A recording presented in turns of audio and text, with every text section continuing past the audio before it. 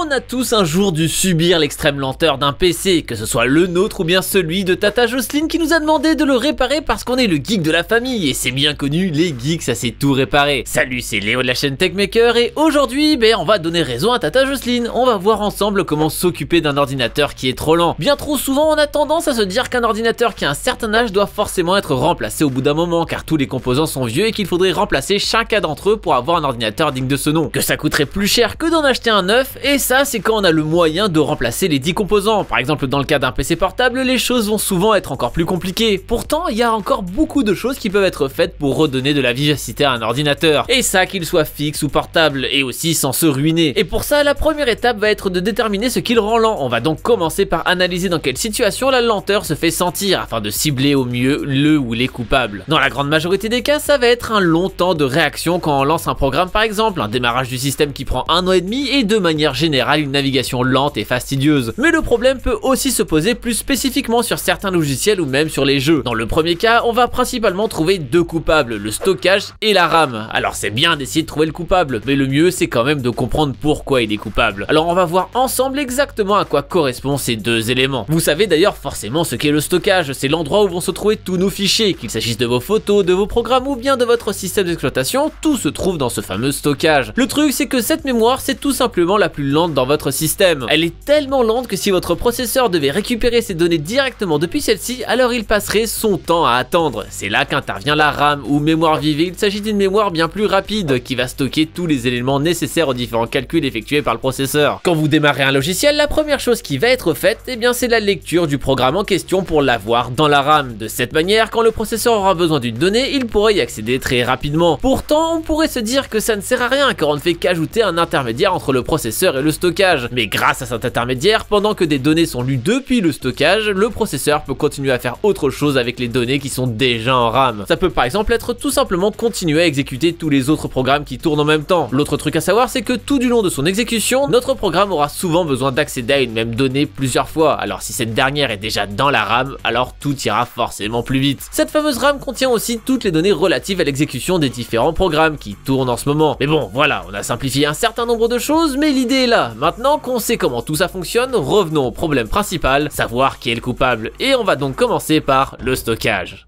Ici, on peut en fait avoir deux problèmes. Le premier est lié à la société actuelle et au marketing qui pousse toujours plus à la sursimplification et en disant le moins possible sur le côté technique. Car tout le monde y gagne comme ça. Ça facilite la vente, hein, vu qu'il y a qu'un seul truc à regarder sur la fiche et que ça suffit pour la personne qui se renseigne peu et ça permet par la même occasion au magasin de vendre de la daube sans l'écrire sur l'étiquette. Ouais, en fait, pas sûr que tout le monde y gagne dans l'histoire. Dans ce cas précis, je pense aux caractéristiques du disque dur ou du SSD. Quand vous achetez un ordinateur, tout ce qu'on va vous dire sur le stockage, bien souvent, eh bien ça sera sa taille. Et si c'est un SSD ou un disque dur d'ailleurs. Pourtant, c'est loin d'être la seule donnée importante, surtout dans le cas d'un disque dur. Ce que vous ne savez pas, c'est si ce disque dur est rapide, s'il provient d'un constructeur plutôt connu pour sa fiabilité, ou bien d'un autre réputé comme produisant des disques pas chers mais moins fiables ou plus fragiles. Autant dire que c'est l'inconnu total. Pourtant, comme dit précédemment, le stockage principal est d'assez loin la mémoire la plus lente, et comme toutes les données de votre ordinateur se trouvent dessus, et eh bien dès qu'on veut lancer un logiciel par exemple, ce dernier doit être lu depuis cette mémoire. Si elle est lente, alors le chargement sera lent. Logique, mais bah c'est pas tout.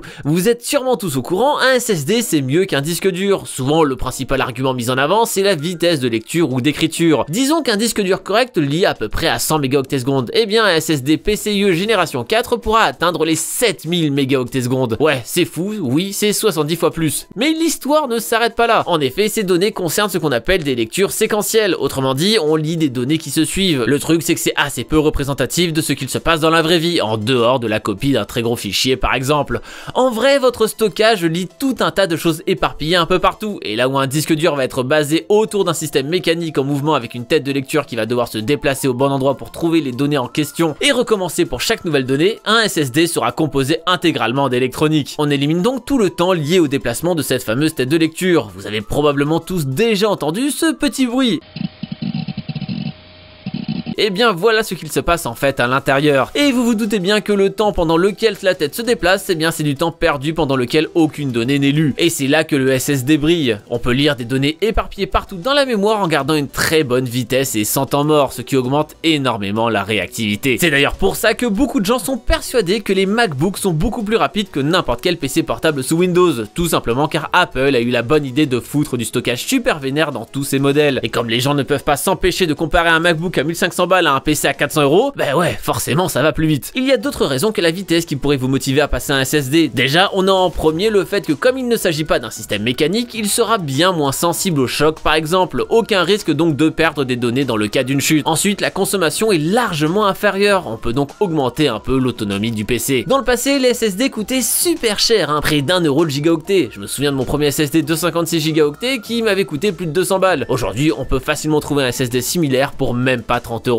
Alors oui, dans le cas du stockage, le remplacement sera souvent la seule solution et il faudra passer quand même à la caisse. Mais déjà, bah, vous allez pas remplacer tout votre PC, donc c'est cool. Mais après, bon, calmez-vous, n'allez pas acheter un SSD tout de suite, car le problème vient peut-être d'ailleurs. Ce qui nous amène d'ailleurs à la RAM.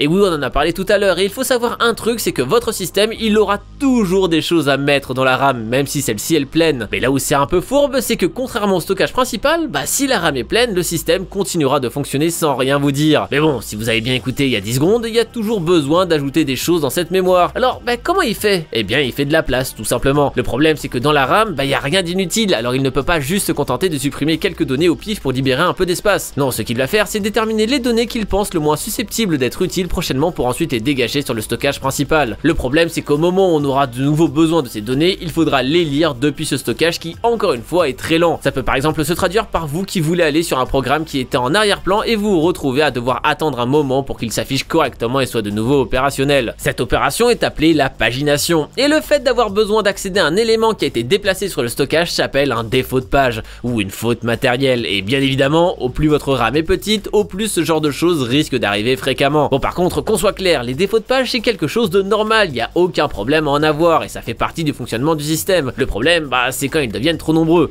Et alors, comment savoir s'ils sont nombreux? Tout simplement en ouvrant le moniteur de ressources dans l'onglet mémoire. Vous pouvez voir sur la droite un graphique qui vous montre les fautes matérielles. Si vous voyez ici que votre RAM est proche d'être pleine et que vous avez de nombreuses fautes matérielles, alors il faudrait penser à ajouter de la RAM. Bien souvent dans le cas d'un PC portable, il vous sera possible de juste ajouter une barrette, mais si vous n'avez plus d'emplacement de libre, alors il faudra peut-être remplacer cette barre que vous avez déjà par une barre plus grosse. Dans tous les cas, ça ne devrait pas vous coûter trop cher. Une barrette de 8 Go en DDR4 pour votre PC portable, bah ça coûte à peu près 35 euros. Donc faut pas se priver. D'ailleurs, je vous parlais tout à l'heure des SSD, et bien là aussi ils peuvent aider. Dans l'éventualité d'un défaut de page, la lecture des données concernées sera bien plus rapide que depuis un disque dur classique. Alors là aussi, je pense qu'il faut pas trop hésiter. La grande majorité des PC lents peuvent être requinqués pour moins de 70 euros en augmentant la RAM et en installant un petit SSD. Dans certains cas, un seul de ces deux éléments peut suffire. Et si vous remplacez le disque dur par un SSD et que ce disque est encore en bon état, vous pouvez même acheter un boîtier pour même pas 10 euros et en faire un disque dur externe pour sauvegarder vos fichiers par exemple. Attention peut-être à ne pas mettre des données trop importantes dessus parce qu'il s'agit tout de même d'un vieux disque que vous avez utilisé encore et encore donc peut-être pas ultra fiable mais bon pour de la sauvegarde c'est sûrement mieux que rien. Et puis bon si ça se trouve vous n'avez pas besoin de tout ça. On va maintenant parler d'un truc qui peut améliorer votre ordinateur sans débourser le moindre rond. Optimiser le système. Dans bien des cas un simple nettoyage du système peut suffire. On peut faire une vérification rapide des différents logiciels installés sur votre ordinateur afin de désinstaller tous ceux qui ne vous servent plus. Mais le plus important n'est pas tant les programmes installés, mais plutôt ceux qui se lancent au démarrage du système et qui vont tourner en arrière-plan tout le temps d'utilisation de l'ordinateur. Et pour ça, rien de plus simple, vous appuyez sur CTRL plus Maj plus échappe, hein, vous savez ce fameux raccourci que vous avez appris en regardant ma vidéo sur les raccourcis qui vous sauvent la vie. Vous vous retrouverez alors dans le gestionnaire de tâches, ensuite vous allez dans l'onglet démarrage et ici vous allez tout simplement pouvoir activer ou désactiver le lancement au démarrage de vos applications. N'hésitez pas à aller voir la vidéo sur les raccourcis, vous pourriez peut-être en découvrir d'autres, hein, je dis ça comme ça. Elle apparaît sur la fiche à droite si ça vous botte. La fausse bonne idée dans cette catégorie, c'est d'installer des logiciels qui boostent votre PC. Juste non, ne faites pas ça. Tout ce que vous allez faire, c'est le ralentir encore plus. C'est souvent ultra inutile, Windows le fait déjà très bien tout ça avec sa version 10, même des softs comme CCleaner n'ont plus tant d'intérêt que ça. Et dans le pire des cas, vous allez vous retrouver à miner du Bitcoin pour quelqu'un d'autre sur votre PC qui galère déjà. Bref, n'installez vraiment rien, à part peut-être l'extension Chrome Leo Maker, car elle, oui, effectivement, elle va accélérer le fonctionnement de l'ordinateur, c'est certain et c'est garanti. Mais voilà, si tout ça ne suffit pas, alors une réinstallation totale du système est à envisager. Ça sera aussi l'occasion de passer à Windows 10 si ça n'était pas le cas avant. Mais revenons quand même un peu au côté matériel. Même si le stockage et la RAM sont les éléments les plus souvent en cause dans le cas d'un ordinateur lent, on peut quand même parfois trouver un autre coupable. Le processeur. C'est en particulier fréquent si votre ordinateur est très vieux ou bien s'il était vendu vraiment pas cher. Pour savoir si c'est le cas, il suffit de vous rendre dans le gestionnaire de tâches, toujours avec le raccourci magique, dans l'onglet performance et de voir ce qu'il se passe quand vous subissez un ralentissement. Si vous voyez que l'utilisation du processeur tourne autour des 100%, alors augmenter la RAM ou passer un SSD ne vous réglera sûrement pas le problème, ou en tout cas pas totalement. Dans ce cas, bah il y a deux solutions, soit le processeur est tout simplement complètement dépassé, soit il fonctionne au ralenti. On va d'abord parler du premier cas. Là, les choses sont tout de suite plus compliquées. Si vous êtes sur un PC portable, alors il y a peu de chances que vous puissiez remplacer le processeur, et même si c'est le cas, vous aurez le même problème que sur un fixe, votre PC est vieux et donc il utilise probablement un vieux socket incapable d'accueillir un processeur récent. Et donc il vous faudrait trouver un vieux processeur, mais là deux problèmes. Le premier c'est qu'ils ne sont plus fabriqués et donc sûrement plus vendus neufs, et donc faudra se tourner vers de l'occasion, et le second problème c'est que remplacer un vieux processeur par un vieux processeur, bah c'est pas forcément idéal. Alors à moins de trouver quelque chose de vraiment plus puissant que ce que vous avez actuellement, vous serez obligé de remplacer aussi la carte pour avoir un socket récent. Sauf que si votre ordinateur était vieux, alors il utilisait sûrement de la RAM en DDR3 alors que la RAM actuelle est en DDR4. Donc il faudrait aussi changer la RAM. Bref, vous l'aurez compris, le plus simple c'est de ne pas avoir en arriver là. C'est aussi la raison pour laquelle je déconseille énormément d'acheter un ordinateur premier prix car il vaut mieux attendre un peu pour pouvoir augmenter son budget afin d'avoir du bon matériel qui tiendra dans le temps que vous pourrez aussi mettre à jour au moment venu plutôt que de prendre un ordinateur très bas de gamme qui sera de toute façon lent dès son premier démarrage et qu'il sera impossible de remettre à jour quelques années plus tard car même le processeur est nul, ce qui vous obligera à le remplacer et à dépenser finalement beaucoup plus d'argent sur le long terme. Et c'est sans parler du coût écologique de cette mentalité de l'informatique jetable. Mais ne vous roulez pas en boule par terre tout de suite parce qu'il y a peut-être une raison à cette utilisation de votre processeur. Déjà ça peut être une application qui le monopolise, mais si vous êtes passé par l'étape réinstallation du système comme je vous l'ai conseillé un peu plus tôt, bah ça devrait pas être le cas. Non, la solution dont je vais vous parler maintenant concerne un acte de maintenance qui devrait être réalisé relativement régulièrement, le refroidissement. Il faut savoir que ce fameux pourcentage d'utilisation du processeur vous indique à quel point le processeur est occupé par rapport à ce qu'il peut faire sur le moment. Mais voilà, venez me demander de vous résoudre un problème alors que j'ai la grippe, bah j'aurais beau faire 100% de ce que je peux, bah ça va pas changer grand chose. Pour votre processeur, c'est exactement pareil. Et là on ne parle pas de grippe mais de surchauffe, votre processeur ne doit pas dépasser une certaine température s'il veut rester en vie. Et pour faire baisser sa température, il a deux solutions. La première c'est d'augmenter la ventilation pour évacuer sa chaleur, mais si ça ne suffit pas, alors il est obligé de passer au plan B qui consiste en une réduction drastique de sa fréquence de fonctionnement et donc de ses capacités. C'est ce qu'on appelle le thermal throttling. Vérifiez donc que la température de votre processeur n'est pas trop élevée. Vous pouvez voir si c'est la cause de votre problème en regardant la fréquence à laquelle tourne votre processeur dans le gestionnaire de tâches, dans l'onglet performance encore une fois. Attention cependant à ne pas vous jeter sur les conclusions, il est normal que la fréquence soit faible si votre processeur n'est que peu utilisé, ça permet simplement de réduire sa consommation. En revanche, quand son utilisation augmente, alors la fréquence devrait revenir à sa valeur normale, et si ça n'est pas le cas et que la température est élevée, alors c'est sûrement de là que vient votre problème. Dans ce cas, la solution sera de démonter le PC afin de nettoyer le ou les ventilateurs ainsi que le radiateur qui sera probablement encombré par une tonne de poussière, mais aussi de remplacer la pâte thermique qui se trouve entre le processeur et son radiateur. Cette étape est souvent négligée, pourtant elle peut avoir un effet drastique, surtout si votre ordinateur surchauffe depuis longtemps, ce qui aura d'autant plus dégradé les propriétés de cette fameuse pâte thermique. Rien de vraiment compliqué, hein, rassurez-vous, vous trouverez tous les tutoriels qu'il faut sur internet. Et le plus beau dans tout ça, c'est qu'absolument tout ce que je viens de vous dire s'applique aussi aux cartes